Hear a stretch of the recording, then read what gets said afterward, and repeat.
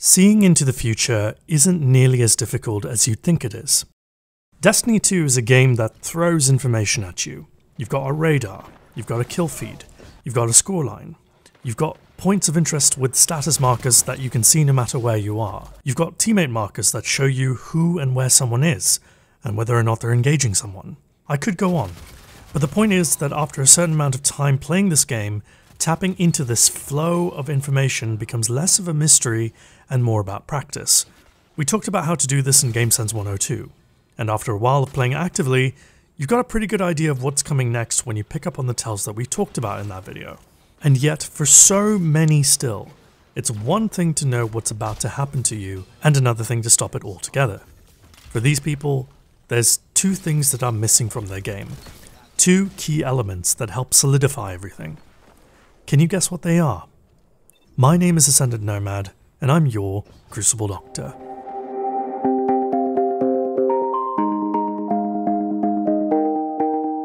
Seeing the future is basically just building experience with the lessons learned from winning fights, and recollecting those experiences for the heat of the moment. Call it learned behavior, call it muscle memory, call it whatever you like. The 1000th time you see a shotgun is infinitely less jarring than the first, second, or third time. You see the shotgun, you see the beeline movement, you see the slide in. You look up, you see your controller flying across the room. For all of its diversity, Crucible can feel at times fairly predictable. Learning this predictability isn't too hard actually. Just think about your experiences in the Crucible. You'll find that there's a lot of sameness between players, usually in loadout or playstyle. Some of this is influenced by the meta, some of it is copying what streamers and YouTubers do, Either way, it's not too hard to distill the player base down into a number of distinctly memorable profiles that are very common.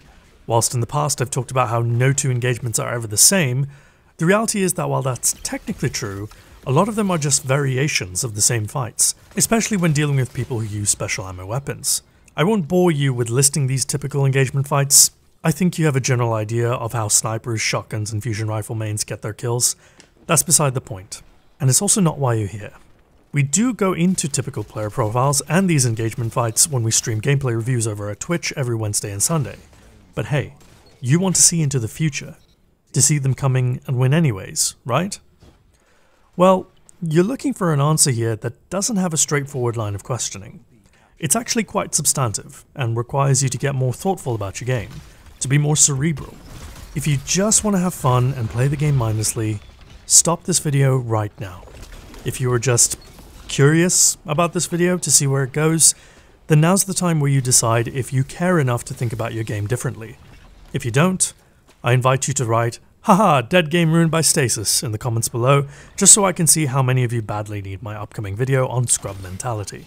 If you are interested in thinking about your game differently, welcome to the beginning of the video.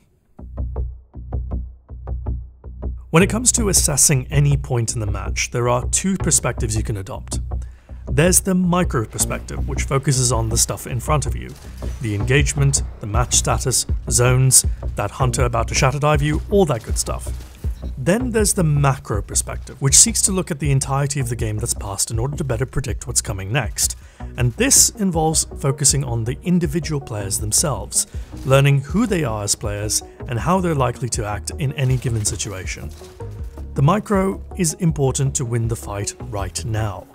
The macro is important to win the game, but in order to predict the future, we need to know how to use both. We're going to take a middle out approach, the micro perspective being the middle, the macro being the out. This approach can be charted out in three concrete steps. Step 1 Snapshot. GameSense 101 was all about asking yourself, what is the most likely thing that's going to happen next? GameSense 102 was about applying this question to win engagements more regularly. In this video, which is effectively GameSense 103, both of these lessons are the first step of a three-step process into taking your game to the next level. The first step is to just gather some data, get into fights, make your snapshots, win or lose doesn't really matter. In 6v6 game modes, you want to find the problematic guardians quickly and observe how they're playing. This can be done in as little as three engagements, Sometimes, with Clever Guardians, it can take longer. In 3v3 game modes, the potential for a dangerous guardian to shine is even higher. Identify them quickly. You'll know when you see them. Keep throwing yourself in there. Keep acquiring data through your snapshots. The more you look at the game on a micro level now, the better you'll be able to see the weave of patterns in the macro level later. Step 2. Analysis. By now, you'll have figured out who's strong and who's troubling you. This is where we turn on our brains a little bit more. Without doing anything different to the way you're playing now, I need you to start looking a bit deeper. Inspect that person's loadout, build, and subclass, and look at how they're playing. Do they lead with that duality or do they stay on their primary? Are they using their empowering rift their 120s to greater effect, or no? Are they rushing in or rotating smartly?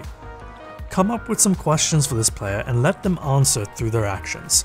The most common ones I ask straight away are number one, are they aggressive or passive?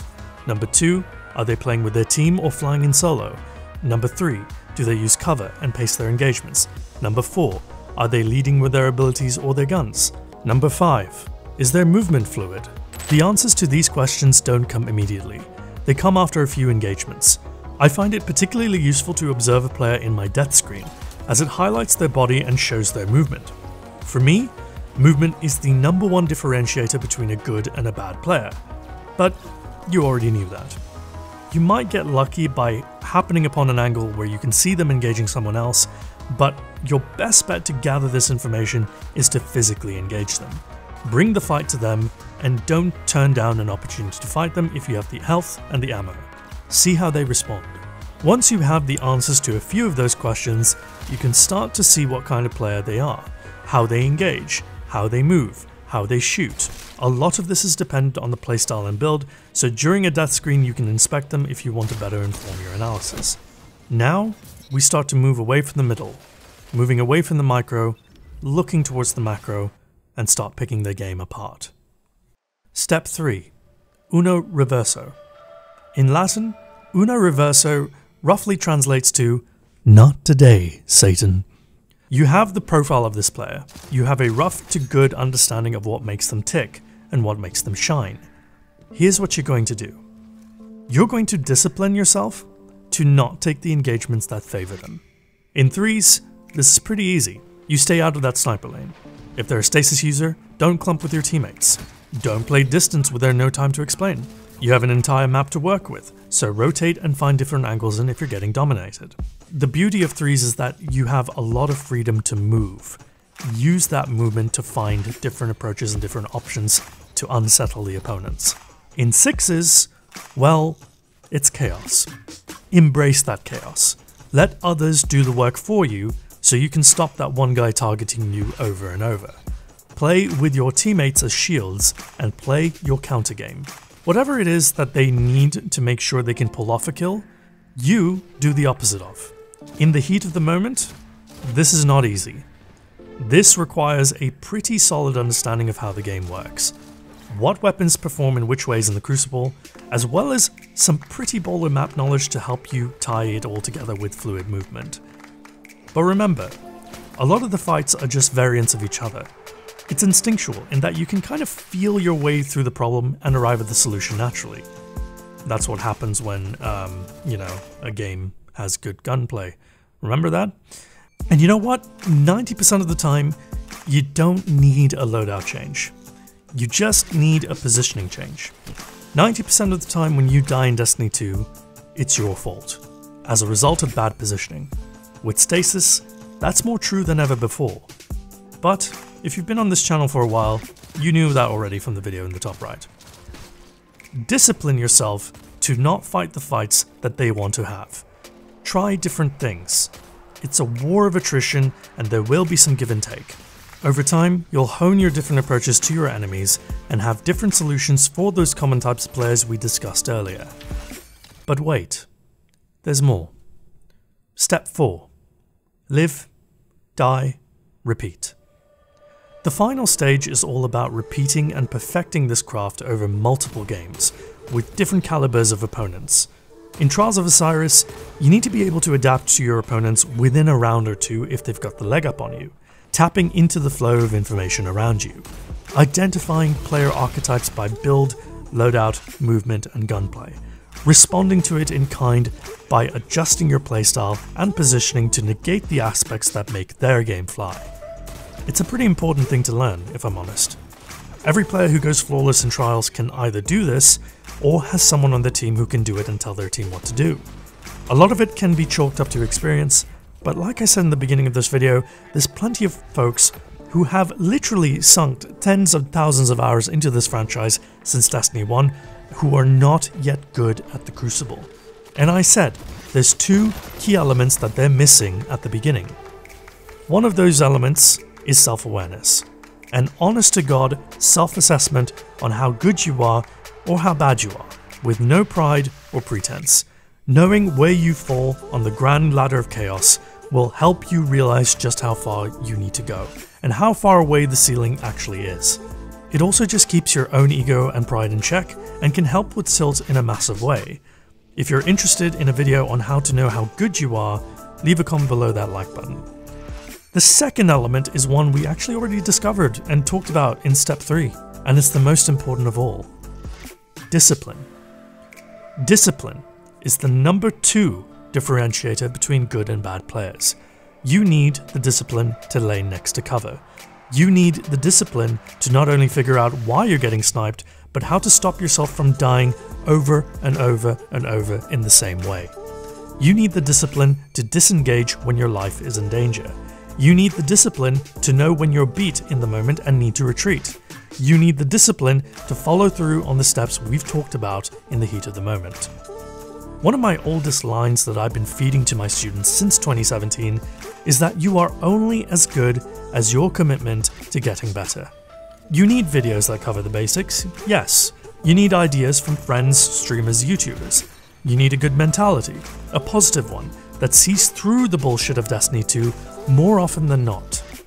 But you need the discipline to execute, to hold yourself accountable, to own up to your own mistakes instead of blaming everyone else and whatever ability or weapon they're using for the fact that you just died out of cover, again, for the ninth time in the same control game. So if the question is, how do you see them coming and win anyways?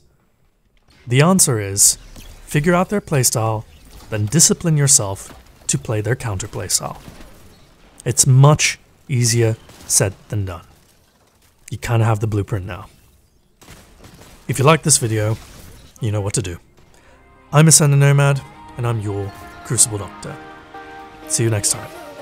Cheers. We'll